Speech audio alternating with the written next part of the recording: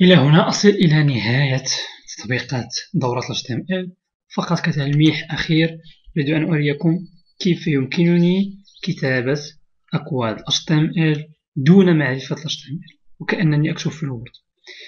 نقوم بهذا عن طريق برامج متخصصة كال FrontPage وال Dreamweaver كمثال. أخذت ال Dreamweaver وهو من شركة Adobe ننقر على HTML فنحصل على الصفحة التالية.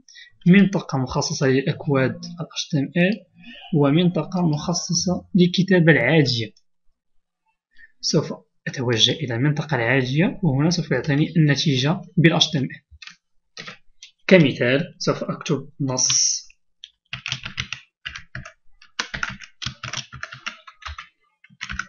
أنا أكتب في المنطقة اليمنى والنتيجة أحصل عليها في المنطقة اليسرى. المجموع الأشياء التي تعلمناها منها وضع النص بشكل مغلوق. أضغط على ب هنا. فيعطيني strong يضيفها مباشرة دون أن أعلم بوجود هذه آه، هذا الوسم. لدي هنا إي وهي إيطاليك فيظهر بهذا الشكل المتجانب والذي نقوم به عن طريق em slash em بإمكاني إضافة الليست التي تعلمناها. List الأرقام يمكن أن أضيف هنا صفحة أخرى. يمكن أن أضيف منطقة جانبية على اليسار كما نرى. يمكن أن أضيف مجموعة من الخصائص دون أن أكون حتى درست يعني ال HTML يمكن إضافة صور أقوم باختيار مجلد الصور.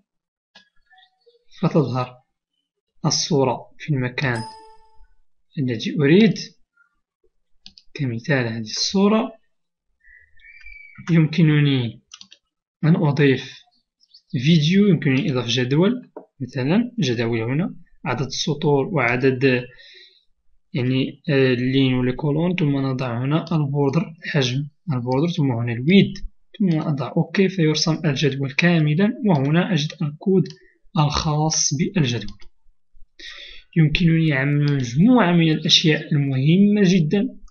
سواء في HTML في CSS JavaScript و PHP عن طريق مثل هذه البرامج. التي تغنيني عن تعلم اللغة ولكن دائما أنصح بتعلم اللغة لأنها الأساس.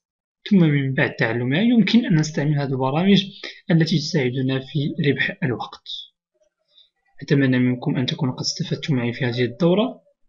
تقبلوا تحياتي والسلام عليكم ورحمة الله وبركاته.